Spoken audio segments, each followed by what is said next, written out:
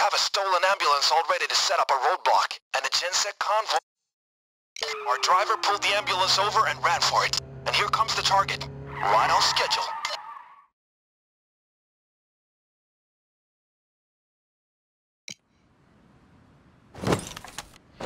Down! They fell for it. Three transports. Cruiser on the street, trying to figure out what's happening. Hit him hard. 지